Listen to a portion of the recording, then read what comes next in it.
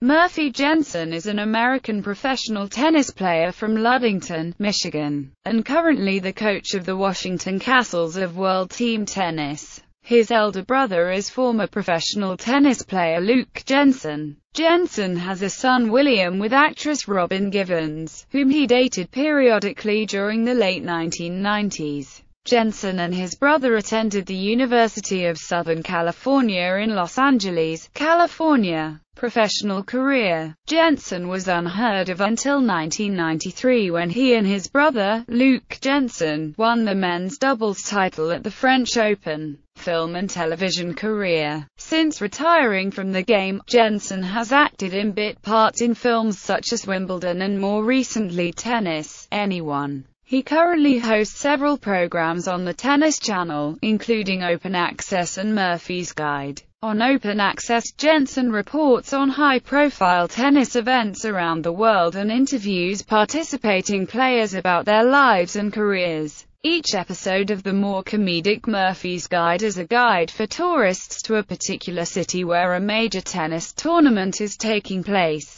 such as Paris, London, New York, Melbourne etc. At least one major player appears at some point in the episode, and there is usually a brief segment about where enthusiasts of the game can play when in town. But the show's content mainly features Jensen attempting to navigate the city's sights, trying exotic food, and interacting with locals in his unique style. Through his experiences and misadventures, however, specific travel information about local hotels, restaurants, and attractions is conveyed, often with the help of animated maps and graphics. Many episodes also feature a scripted opening sequence, such as Jensen being made to walk the plank by the Pirates of Treasure Island in Las Vegas being psychoanalyzed by Sigmund Freud in Vienna, and impersonating James Bond and Crocodile Dundee in London and Melbourne, respectively.